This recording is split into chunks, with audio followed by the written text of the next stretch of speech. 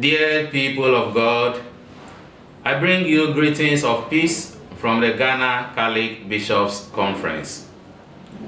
My name is Reverend Father Dieudonné Kofi Davo, Executive Secretary for the Department of Social Communications at the National Catholic Secretariat.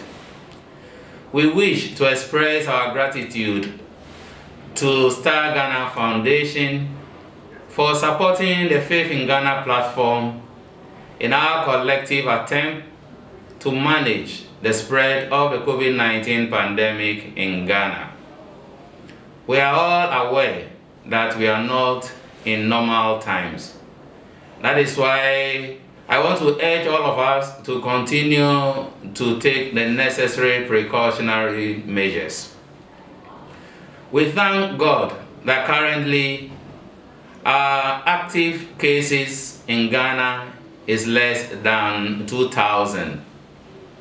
This, however, does not mean that we have to take things for granted and become complacent. Let us all continue to religiously observe all the laid down protocols, namely staying at home as much as possible if we don't have anything to do outside. Wearing of our face masks and wearing them appropriately. Observing social distancing.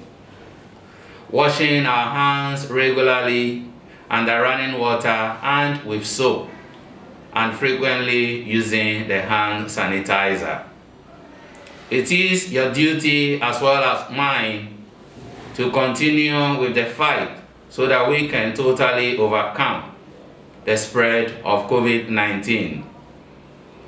If you play your role well, and I also play my role well, we are protecting one another and we are protecting ourselves as well. Let us not defeat the gains made so far.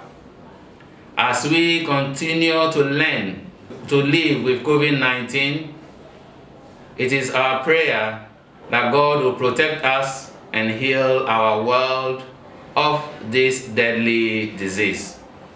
I wish you all the best and God bless you. Thank you.